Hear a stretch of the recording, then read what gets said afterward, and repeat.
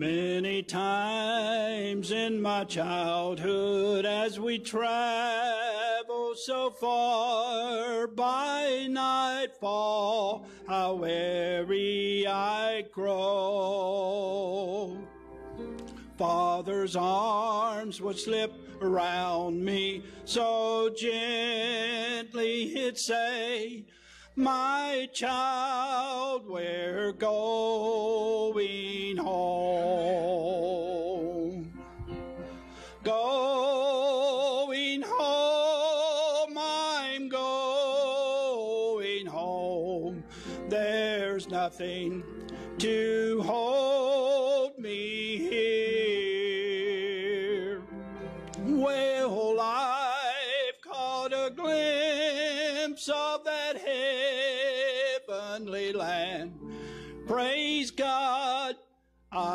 going home. Now the twilight is fading and the day soon shall end. I get homesick the farther I roam. But my Father has led me each step of the way, and now we're going home. Going home, I'm going home. There's nothing to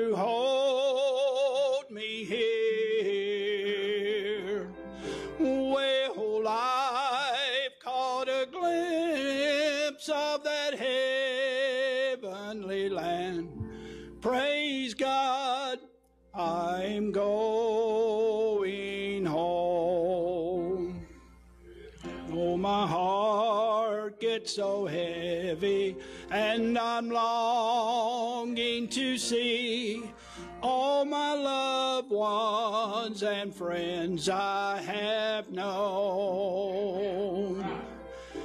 Every step draws me nearer to that land of my dreams. Praise God, I'm going home.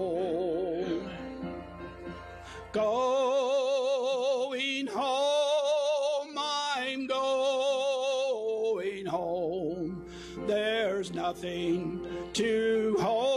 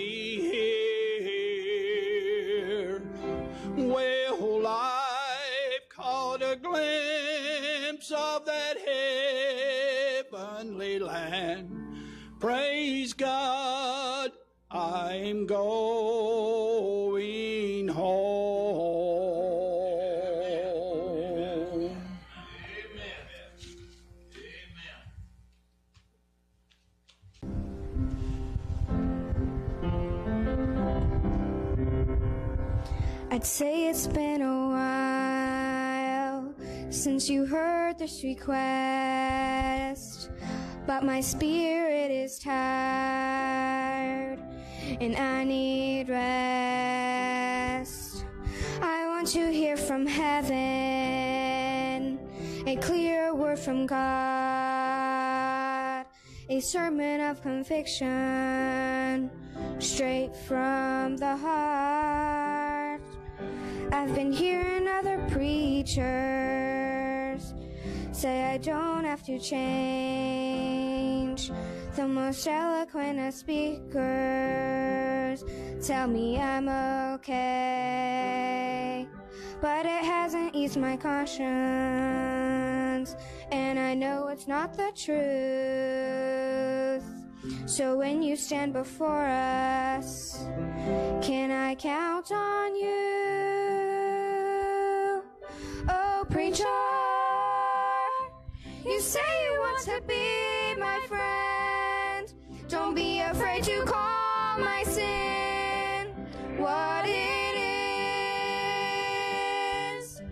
And preacher, tell me I can overcome, but it's only by the blood of the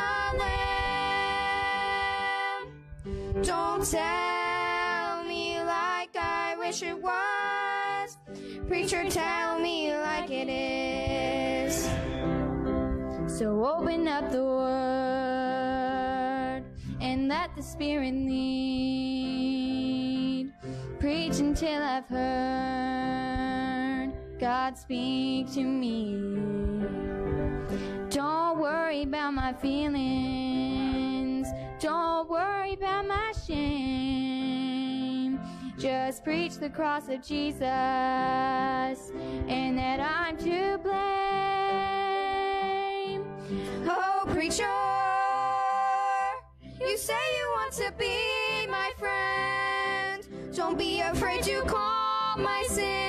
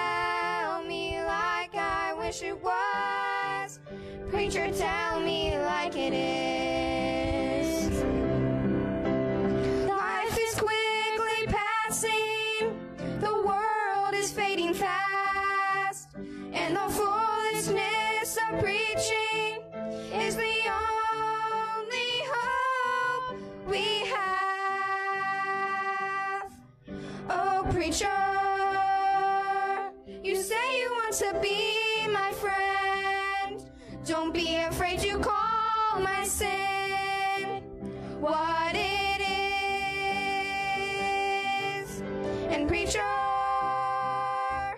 tell me I can overcome, but it's only by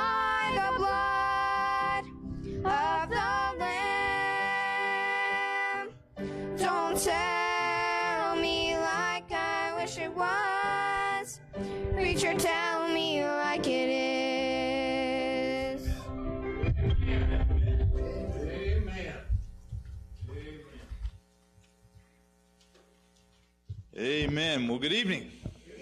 Well, that was a powerful song. Amen. Preacher, tell me like it is. Don't tell me like I wish it was.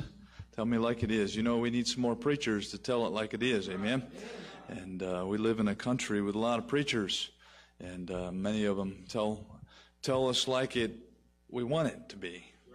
But praise God, we have a preacher, and uh, thank God for preachers that uh, tell it like it is. Amen.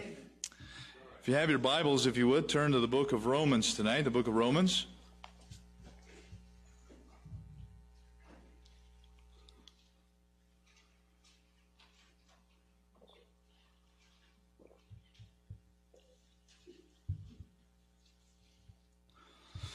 I've titled the message tonight, Against All Odds. Against all odds. Against all odds. You know, I think about that. You know, many oftentimes we preach messages that are, you know, this is the way the Bible says, this is ideal situation. Um, you know, we, we've come through Mother's Day and Father's Day, and and obviously we, we talk many often how the home should be, and you know sometimes though in, life we don't necessarily have it like we would like to have it, if you will, and there are circumstances. Uh, obviously, we can't change who we are. Uh, we are who we are. I mean, this condition we're in. Uh, a lot of times, uh, and and and and I'm not going to go into great detail uh, to get off track of, of certain things, but you know, folks, a lot of times we, we face things, uh, and, and and unfortunately, sometimes we have no control over those situations. Uh, it could be a result of of something choices we've made in the past or whatnot. but we are what we are. We are where we are in life, if you will, and and and we're all against something, if you will. We're we're battling uh, many trials, many tribulations. If we're a child of God, we've been a child of God long.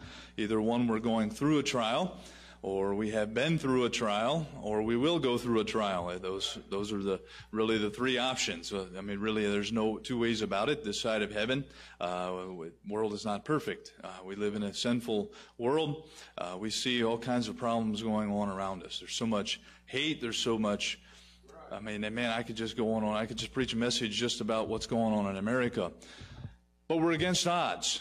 You know, if we're a child of God, we're, we're, we're, we're odd. Bible says we're a peculiar people. You know, we're, we're not to be of the world. We're in the world, but we're not to be of the world. And, uh, you know, we are against all odds in being a child of God, even. You know, we're, we're not popular. Uh, the devil makes us unpopular. He, he, sees to it that, that you and I are, are uh, really the, the, uh, I guess the, the point of every joke, you know, we, we get made fun of. We, we are uh, those that uh, people, you know, talk about and, and uh, so forth. But, but against all odds, being the underdog, if you will, the one that uh, obviously is not the most popular, the one that our situation obviously is is not the most ideal. Uh, you know, again, and, and there's some challenges that we have in life, and how do we how do we face those? How do we deal with those situations? How do we overcome the the circumstance or the condition that we feel, the challenge that that that's created because of of one particular uh, event or or something that's going on, something that is challenging our life? Johnny Fulton was run over by a car at the age of three. He suffered crushed hips, broken ribs, a fractured skull, a compound fracture in his legs. It did not look as if he would live. But he would not give up. In fact, he later ran the half mile in less than two minutes. Walt Davis was totally paralyzed by polio when he was nine years old, but he did not give up. He became the Olympic high jump champion in 1952. Shelley Mann was paralyzed by polio when she was five years old, but she would not give up. She eventually claimed eight different swimming records to the U.S. and won a gold medal at the 1956 Olympics in Melbourne, Australia. In 1938, Carol Takacs, a member of Hungary's world champion pistol shooting team and sergeant in the army, lost his right hand when a grenade he was holding exploded. But Takacs did not give up. He learned to shoot left-handed and won gold medals in the 1948 and 1952 Olympics. Lou Gehrig was such a clumsy ball player that the boys in his neighborhood would not let him play on their team. But he was committed. He did not give up. Eventually, his name was entered in the baseball's Hall of Fame. Woodrow Wilson could not read until he was 10 years old, but he was a committed person. He became the 28th president of the United States. At the age of seven, he had to go to work to help his, support his family. At nine, his mother died. At 22, he lost his job as a store clerk. At 23, he went into debt and became a partner in a small store. At 26, his partner died, leaving him a huge debt. By the age of 35, he had been defeated twice when running for a seat in Congress. At the age of 37, he won the election. At 39, he lost his reelection bid. At 41, his four year old son died. At 42, he was rejected for a land officer role. At 45, he ran for the Senate and lost. At 47, he was defeated for the nomination for vice president. At 49, he ran for Senate again and lost again. At the age of 51, he was elected President of the United States. During his second term of office, he was assassinated, but his name lives as one of the greatest U.S. presidents, Abraham Lincoln. All these men and, and women, these individuals that faced amazing odds, amazing situations in their life that these circumstances would normally, uh, you know, obviously defeat that person. They would just sit down and, and just want to give up. But, child of God, we serve a, an amazing God. You know, you and I can't do anything on our own. But, you know, with God, all things are possible. Bible talks about. You know, and with God, if God is in our life and He's prevalent in our lives, there's nothing that, that we in our lives cannot overcome with our Savior and our relationship with our Savior. And again, there's people here tonight, I, I believe, that are going against the odds, uh, that are really struggling with something in their lives. They, they, and, and, and I'm, uh, I'm going to touch a little bit on, on many different areas. But uh, they're struggling and, and, they're fighting, and, and, and really we're all fighting the devil. But really, those that are that are that are unpopular, if you will, the ones that don't have that ideal situation, or the ones that are the underdog, the ones that that obviously are uh, society tells you you're not going to amount to anything, you're not going to you're not going to be anything, or you can't do this. You know, I, that's why I, I, really don't like that word. My kids say I can't do that. I, I, I just as a, as a, as a kid I was I would get in trouble over that. My daddy said can't never did anything. You know, sometimes whether you think you can or you can't, you're right. In our mind, we, if we've already determined that we can't do it, then we might as well not even try. But in our mind, it don't matter. You know, if we say we can do it with God's help, then we can overcome some amazing things. But against all odds, here in Romans, we're in chapter 4 here this evening in, in Romans.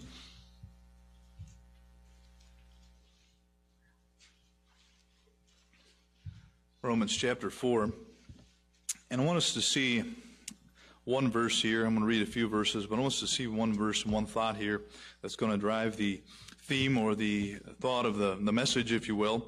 Uh, we're going to read Romans chapter 4, and we're going to read first five verses, and then we'll skip on down. Romans chapter 4, starting in verse 1. What shall we say then that Abraham our father, as pertaining to the flesh, hath found? For if Abraham were justified by works, he hath whereof to glory, but not before God. For what saith the Scripture? Abraham believed God, and it was counted unto him for righteousness. Now to him that worketh is the reward not reckoned of grace, but of debt. But to him that worketh not, but believeth on him that justifieth the ungodly, his faith is counted for righteousness. Now look down in verse 18. Who against hope believed in hope. Who against hope believed in hope that he might become the father of many nations, according to that which was spoken so shall thy seed be. And being not weak in faith, he considered not his own body, now dead, when he was about a hundred years old, neither yet the deadness of Sarah's womb. He staggered not at the promise of God through unbelief, but was strong in faith, giving glory to God. Let's pray. Father, we thank you for the day you've given us, Lord.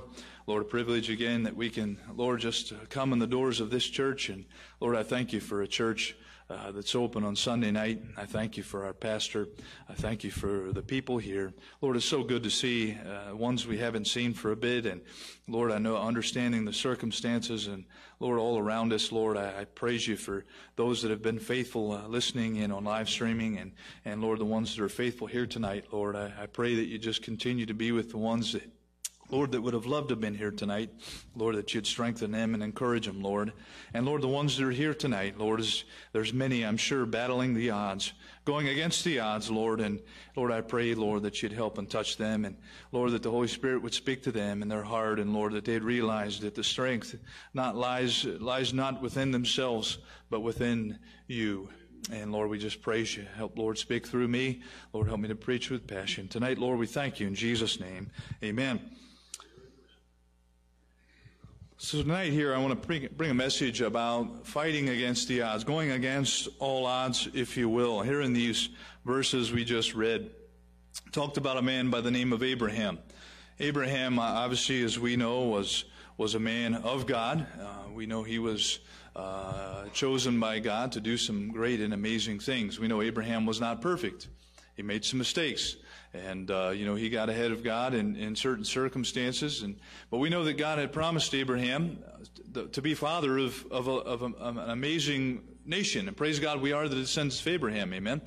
And, uh, but, uh, Father Abraham had many sons, you know, and, uh, you know, I get often called Abraham at work, but some people say, you remind me of Abraham. And, but, but, uh, anyway, the, um, anyway, not to get off track there, but, but fighting against the odds. And Abraham was one that, that, that fought against the odds, if you will. Looking in verse 18, it says, Who against hope believed in hope? Who against hope believed in hope? Uh, there was a commentary, and, and I really enjoy Matthew Henry's commentary. His English is a little bit, uh, it's, it's old, written in the 1800s, but he said, here was the comment on this particular portion of this verse, verse is who, who against hope believed in hope. It says, there was a hope against him, a natural hope. All the arguments of sense and reason and experience, which in such cases usually beget and support hope, were against him. No second causes smiled upon him, nor in the least favored his hope. But against all those inducements to the contrary, he believed, for he had a hope for him. He believed in hope, which arose, as his faith did, from the consideration of God's all sufficiency, that he might became, become the father of many nations. Therefore, God, by his almighty grace, enabled him thus to believe against hope, that he might pass for a pattern of great and strong faith to all generations. It was fit that he who was to be the father of the faithful should have something more than ordinary in his faith, that in him faith should be set in its highest elevation, and so the endeavors of all succeeding believers be directed, raised, and quickened. Who against hope believed in hope. You know, praise God, tonight we have hope in God. You know, we serve a God, a God of hope. You know, was, the other morning I, I got, uh, uh, many of you probably do the same thing. You got the daily verse that pops up on your phone. If you got one of them smartphones and you subscribe to some sort of uh, Bible on, on, on, on your phone and whatnot, I, it'll pop up. I have a couple of them. And then one of those verses was Romans 15, 13 says, Now the God of hope, the God of hope, fill you with all joy and peace in believing, that ye may abound in hope through the power of the Holy Ghost the God of hope. Going against the odds. Tonight I've got six points very quickly about going against the odds. First of all, I find the situation. The situation that we have in our life. Each and every one of us here tonight has a has had a situation, is uh, having a situation, or will have a situation in your life where we will be battling the odds. We'll be going against the odds of uh, of of what in our minds seems impossible, seems unreasonable, seems like it just can't be done. The odds are stacked up against us, if you will. You know, you know these odds, these challenges in life, uh, these issues, the problems we face. You know, really, uh, they're they're in our mind. They're they're they're bigger than than what we can handle. I mean, really, they're, they're discouraging. And they're, they're huge problems. And many things happen, and, and they're very discouraging. Many years ago, when I, eh, early in my career, I used to be responsible for, for repairing tools that are, are, are, are company. And so, uh, anyway, long story short, I, there was a company in Indiana that we would use to repair these tools if something major would happen. And, and I would always call this, call this gentleman, and I said, Roger, I said, you know, I said, we got a problem. And he would he stopped me, and the first time he, he said, "You know, Jason, you don't have a problem." He said, "You got an opportunity." Amen. Every time I, I would say, "You know, Roger, we got a problem." Finally, I said, "Roger, we got an opportunity," because that's the mentality. You know, we we think we see problems. God sees opportunities. God sees an opportunity that you and I can can learn from this situation. We can see this out, and, and God says, you know what? Uh, he sees it or she sees it as, as a problem. And really, and humanly speaking, it is a problem. It's a problem to us. But to God, it's an opportunity. And to us, child of God, it should be an opportunity. An opportunity for us to learn what God is, is trying to tell us, what God is trying to, to teach us, and what God is trying to do in, in our lives, if you will. But we, all have situations in our life where we fight against the odds. Maybe God's calling you to do something. God has called you to do something. You're in the process of answering that call. Maybe God has called you to, to do something that makes absolutely no sense whatsoever. Absolutely just uh, is totally, you know, off, off center and it's like, that just don't make any sense at all, God. Why would you ask me to do something so, I, I just can't do that. And, and, and we, we discourage ourselves and in our mind we, we reason within ourselves it just can't be done. And that's just how we are. We just say, well, that's not something that, that I can overcome. It's not something that, that I'm able to do. And you're right, it's not something you're able to do. But praise God, if He's called you to do it, if He's asked you to do it, He's going to give you the strength. He's going to give you the ability. He's going to give you every necessary element that's going to be required in order to make that uh, task or that something uh, possible. But the devil, he, he wants us to focus on the challenge. The devil, he says, yeah, you're right. That, that's, that's way too big for you. That's, that's something that you can't overcome. That's something that, you know, that, that obviously is beyond, you know, your, your ability to, to do. And, you know, God's way too busy to, to, to, to deal with, you know, your problem. I mean, he's got all kinds of things. He's got, he's got America that's in turmoil that he's got to deal with. And, he's got all of this problems out here. He's, your, your problem. I mean, he's just, that's what the devil wants us to, to think. The devil wants us to think that, you know, we're the least important thing to God. Praise God. If we're a child of God, we're the most important thing to God right now. And it's amazing how He can love and care for each and every one of us all at the same time. Because He's God. That's just the way He is. That's the way He works. And it's amazing. You know, we, we think so eh, finitely, but, but we got to think in terms of God. His is His infinite. He thinks infinitely.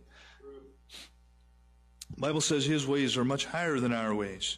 But, it, but the devil will tell us it can't be done. You know, the odds are against you, and, and, and you, you just no sense in fighting against the odds. Praise God. You know, child of God, with His strength, we can fight against those odds. Maybe you don't have that model home. Maybe there's a situation, and, and folks, I come from a broken home. You know, I, have shared many stories and many times, and, and, some of you may have never heard it, but I, my mom and dad divorced when I was four years old. So my mom was a single mother, and uh, so it was, you know, that was it was rough. You know, it was different. You know, it didn't have necessarily the same structure that you know that my kids have, and I praise God. And and you know, that's that's something that not a lot of family has nowadays. It's it's a struggle, and and really is. And and I remember the struggles that mom had, and unfortunately, she she wasn't living for the Lord, but she knew what was important. So she, she had, I mean, she had me in church. My grandmother saw to it. Uh, she allowed my grandmother to, to be faithful in taking me to church. And I tell you that it was against, I went against the odds. But it was, it was because there was, there was a, a connection there. You know, there was, there was the, the love and the, the, the devotion that my grandmother had spent with me in prayer and, and taking me to church. You know, she took the time. I mean, it's, you know, folks, it's important to have you know, kids that aren't in that condition, it's important to have those kids in church. Because you want to fight against the odds, that's the best way to do it. Getting close to the Lord. But nobody has a perfect home. You know, really, even a model home. I mean, even if you've got that intact family, it's it's still. I mean, there is no perfect home. I, I mean, if if if somebody says we got a perfect home, better run because that's that, that's just not possible. People just aren't perfect. We're human, right? I'm grumpy every 10 to 15 years, remember? But the reality of it is, we're all human.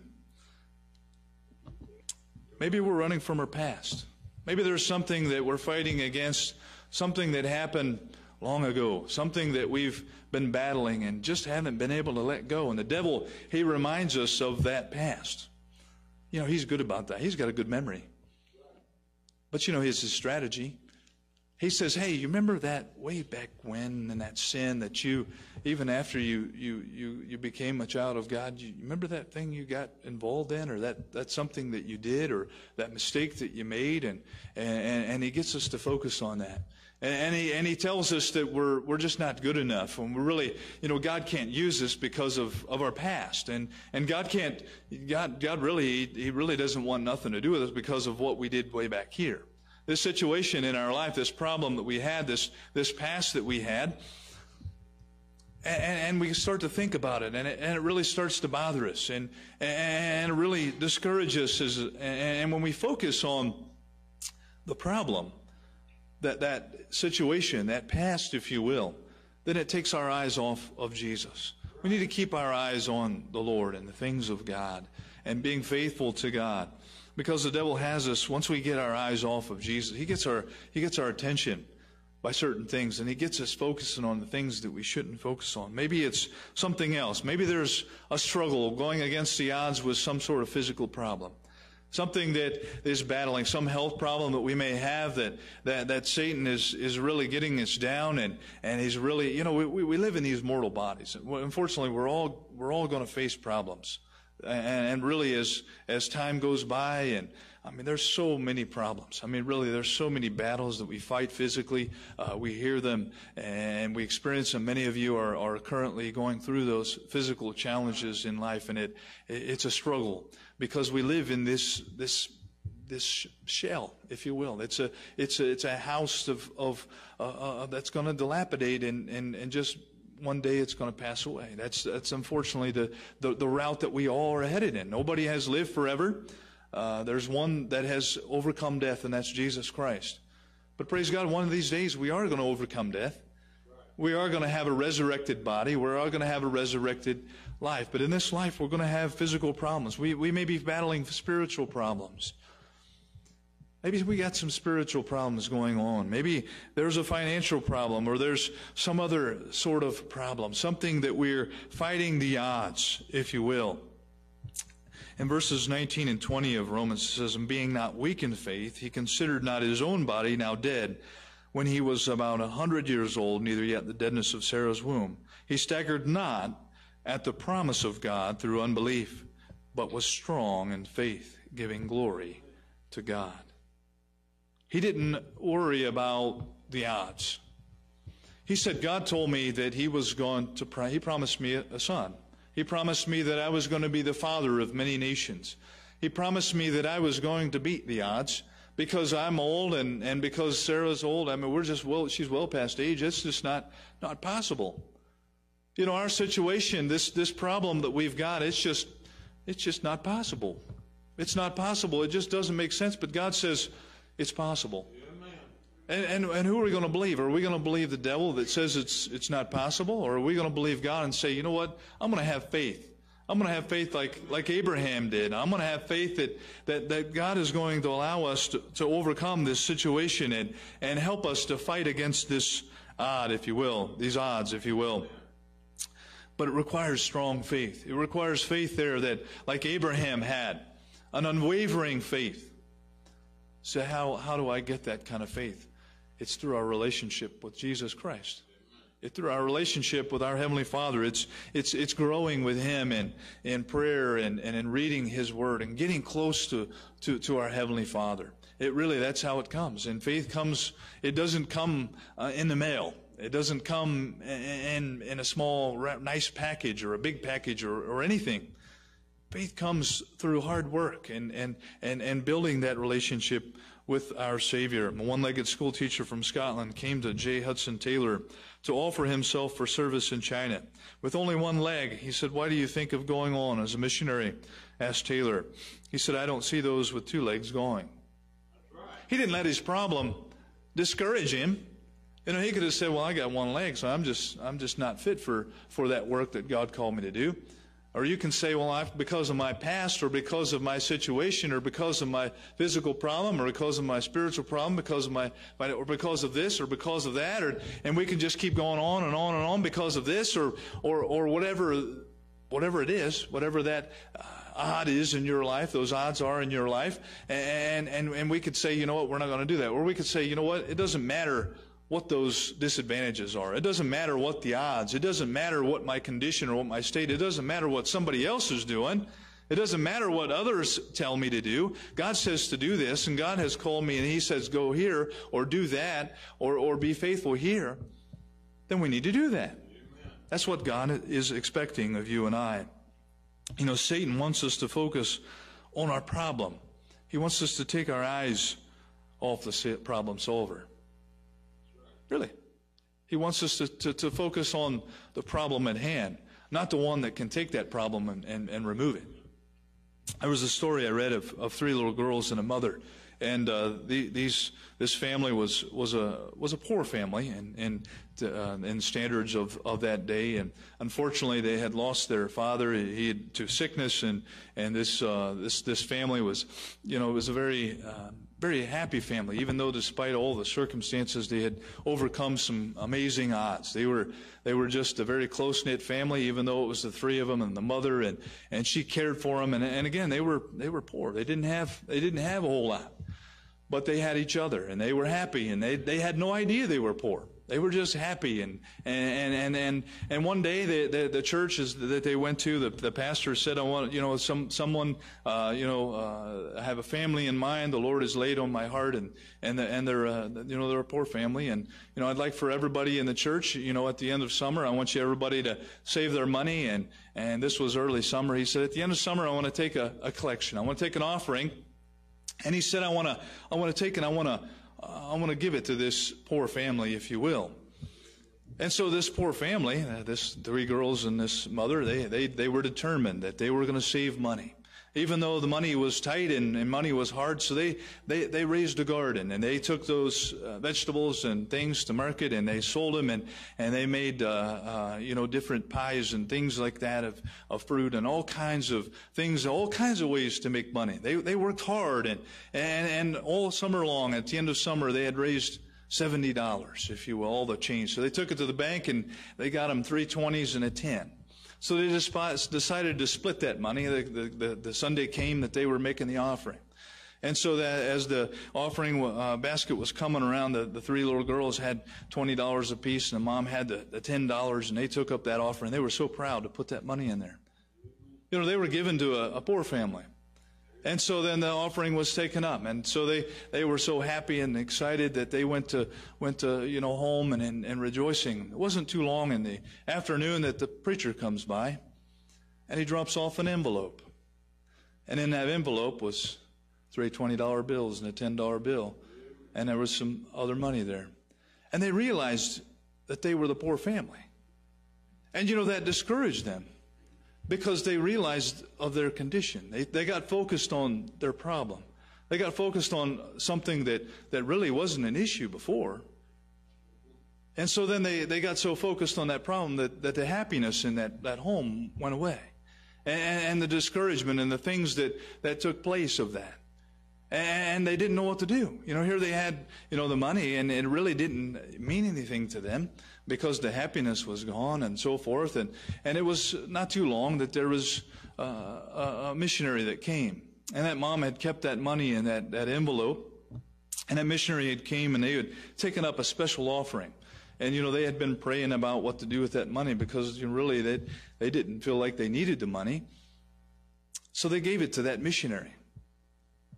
And so that missionary, as they, they, they found out the collection and the amount that was in there, they had given a large per- percentage of that, of that, of that offering when they announced that this was the amount. And, and that missionary was so happy. And his, his comment was this. He said, you must be a rich church.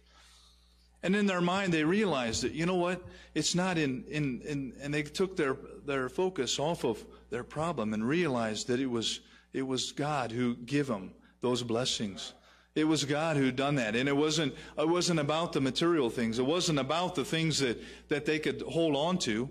It was the things that, that were eternal. The things that, that were priceless. And, it, and they brought them back to the things that were most important in their family. And they, and they focused not just on the problem, but the one that could solve their problem. You know, we sometimes get so focused on our situation and we get so sidetracked that we need to accept the situation for what it is. Ever anybody ever heard that phrase? It is what it is. It is what it is. I say that a lot. I heard that a, a man said that one day. It is what it is. I mean, it. Unfortunately, you know, I've been in a lot of situations, especially, uh, you know, where you broke down and you got something, and it's like, you know, you get so frustrated. But you know what? The more frustrated I get, it ain't changing things.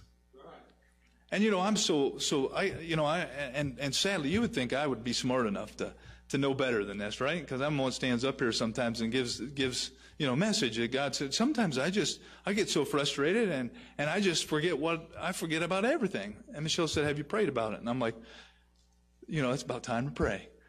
And I look foolish, right? I should be the one saying, okay, guys, let's pray. But you know what? It, sometimes it's one of my little kids. But child of God, sometimes we get so focused on the problem. We get so frustrated with what's going on and, and we get so just discouraged. And the devil just laughs and he has a great time. He said, you know what? Man, look at that. Look at that. I got him right where I want him. And the devil does that to you and I. Discouragement comes. A problem comes. A situation comes in our life and, and we focus on that and we try to get it our mind off of it, but then the devil says, remember, remember that? Remember that problem over here? Remember that thing that, and, and we're fighting against the odds and the devil, devil, he just, man, he's having a, he's having a good old time. Bringing up those situations. Now, do I find the, the situation? I got to hurry. I got to find the source. The source of our problem. You know, the source of our problem is sin and Satan. Sin and Satan. James chapter 1 and verse 12. Blessed is the man that endureth temptation. For when he is tried, he shall receive the crown of life, which the Lord hath promised to them that love him. Let no man say, when he is tempted, I am tempted of God, for God cannot be tempted with evil, neither tempteth he any man. But every man is tempted when he is drawn away of his own lusts and enticed.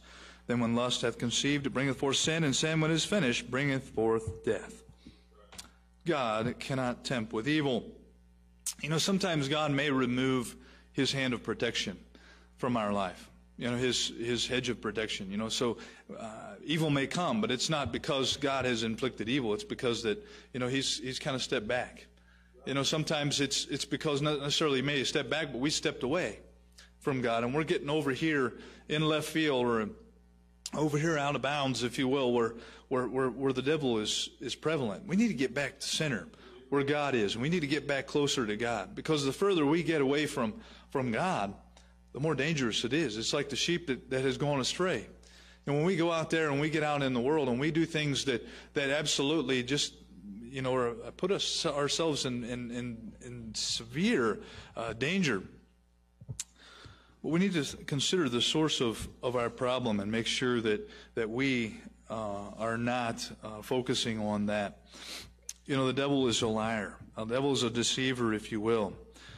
You know, in, in the book of John, in chapter 8, Jesus is speaking to uh, some people there, and he was talking about being the servant of sin, and, and I won't go there for sake of time because we're about out of time and, and so forth. But he talked about the devil. He said, You're of the father of the devil. The lust of your father will you do. He was a murderer from the beginning and abode not in the truth, because there is no truth in him. When he speaketh a lie, he speaketh of his own, for he is a liar and the father of it. He's the father of lies. He's the father of lies. The devil will lie to you. Believe it or not, he'll lie to you. He'll tell you that, uh, you know what, everything's going to be all right over here. You go over here, or this, and, and he's going to tell you a lot of things that, that just, you know, really in, in our minds may make sense. He's going to tell you that it's better just, you know, to, to just, since you had this problem and this situation in your past or this problem that you've got going on, it's better just to, just to go over here by yourself and, and, you know, just take a little break, if you will. You know, just, you know, don't go to church on Sunday night or on Wednesday night, you know, don't worry about it. You know, just take a little bit of breather and, and it'll be all right. The devil plants that in our mind. He, he, he lies to us. He deceives us. But I find a solution. But I find a solution. In 1 Corinthians chapter 10, verse 13, it says, There hath no temptation taken you, but such as common a man. But God is faithful, who will not suffer you to be tempted above the you're able, but will with the temptation also make a way of escape, that you may be able to bear it. You know, our solution is our Savior. You know, there's always a solution to our problem, and it's in our Savior. It's in our Savior. Not only do I find the, the source of the problem, but I find the struggle. You know, sometimes in the midst of, of life, uh, this struggle we call life, if you will, uh, we lose sight of, of truth. We really do. We, we lose sight of truth. We, we survey, you know, when we look back in our past and, and we survey our walk with Christ, you know, I bet every one of us can tell stories about, you know, where we had a similar situation. We had this problem in our life and, and God delivered us from it. We had the situation in our life and God delivered us from it. But in between the situation coming and God's deliverance, there was a lot of there was a lot of a lot of baggage, if you will. We carry a lot of scars and a lot of things that, that, that we bring with us sometimes. And those are the things that happen in between God's deliverance and the problem occurring. Those, those things in between, those are the things that the devil wants us to focus on. Those are the things that he wants us to, to remember. And the devil somehow masks God's love and, and he creates a, a feeling of absence in God's, you know, for us to feel like we're, you know, we're alone in this, we're, we're, we're on this on our own, right? You know, sometimes it feels like, you know, we're on our own and, and God has, somehow he's just not nowhere to be found. And, you know, sort of like Job, you know, Job was, it's like, where, you know, God, where are you? And, you know, when God finally spoke, he said, you know, Job, where were you at? When I created the, the heaven and the earth. You know, we think about an amazing God and a powerful God that we serve. You know, if we're a child of God, God doesn't never leave us. God does never leave us. He said, I'll never leave you. He says, I'll be with you always. But the devil will mask God's love and gets our eyes off our Savior, and he gets our eyes on our struggle. Gets our eyes on our struggle. But it's an amazing struggle, battle. Amazing what, what we bring with us. Amazing what we package and, and, and just collect and, and we just carry around. This baggage that you and I carry with us everywhere we go. Really, we do. These things, these, these things that we're battling against the odds, we just pick them up and we carry them around and we, we just to remind ourselves of, of struggles. And, and we carry so much uh, with us and it's, it's amazing. There's an array of things in our basket, if you will. Anybody shop at Aldi's? And I, anytime you go to the grocery store, you see people and they shop, pull, push their cart around. Of course, I've pushed a cart around because, uh, anyway, obviously we, it's obvious why we push carts around. But you look and see what people have in their baggage. You know, anybody ever do that? See what they're buying? Oh, come on, be honest. Okay, many people do. I do. I enjoy that. What, what's with that person buying? Well, I didn't picture that person as eating that kind of food. Anybody ever do that? You know, you are what you eat. Anybody see my basket? I've got a bunch of fruit. They must think I'm a fruity person, but. And I always get the question when you get to the cash register is, do you have a restaurant? Or, or are you a chef? Because you're buying so much of the same kind of stuff. But regardless, we carry all this, this, this stuff, these things that, that we pack in there. And, and, things that tell a story about our lives and things that tell you know about what we're going through and these situations and and and and you know what we need to do with them we need to put them right here on this altar we need to bring them up here and say you know lord all this baggage i've been carrying around all these years this this problem this situation that that i'm battling against the odds I'm, I'm going to give it to you because I'm tired of carrying around. Because this, this weight that I've got on my shoulders, it's, it's just way too heavy for me, Lord. I'm going to give it to you. He says, Come unto me, all ye that are, that are, labor, that are heavy laden. You know, I'll, I'll give you rest. He promises us rest, the struggle that we go through. Fourthly, I find the strategy, the, the strategy. And then, uh, for sake of time, Fifth, I find the strength. Uh, you know, in the, in the book of Second Corinthians, chapter 12 and verse 7, it says, Lest I should be exalted above measure through the abundance of the revelations, there was given to me a thorn in the flesh, the messenger of Satan to buffet me, lest I should be exalted above measure. For this thing I besought the Lord thrice, that it might depart from me. And he said unto me, My grace is sufficient for thee, for my strength is made perfect in weakness. Most gladly, therefore, will I glory in my infirmities, that the power of Christ may rest upon me. Therefore, I take pleasure in infirmities, in reproaches, and necessities, and persecutions, and distresses, for Christ's sake. For when I am weak, then am I strong. He said, My grace is sufficient for thee. We go to the Lord and, and, and we, we tell the Lord about our problem and our situation. You know, that problem, that situation may not go away perfectly. It may still be there to a certain extent, but God has provided a way that you and I can bear it. He's provided a way. He's provided grace. As Paul said, my grace, as Jesus said, my grace is sufficient for thee. He realized that it was in his weakness that he was the strongest. Because it wasn't his strength, it was God's strength. Child of God, we have a strength in our Savior. Not only do I find the strength, but lastly, I find the steadfastness. You know, once we realize that that problem, that odds, the, the thing that we're fighting against, going against that, that odd, that situation that, that if we was to, really, we just want to lay down and quit and be done with it. But we fight against it. And we need to fight and fight and fight and continue to fight. 1 Corinthians 15, 58, Therefore, my brethren, my beloved brethren, be steadfast, unmovable, always abounding in the work of the Lord, for as much as ye know that your labor is not in vain in the Lord. Be steadfast. You know, child of God, we need to be steadfast. We need to be faithful to God. We need to be fighting against the odds. Let's pray. Father, we thank you for the day you've given us, Lord. We thank you for your blessings. I pray, Lord, that if there's someone here, Lord, fighting against the odds, one that's carrying around uh, a lot of baggage, something, Lord, that's weighing on them. I pray that, Lord, they'd lay down that, that, that thing that's, Lord, it's just weighing them down, discouraging them and getting them beat down, Lord. I pray that they'd lay it on this old fashioned altar tonight. We thank you and we praise you.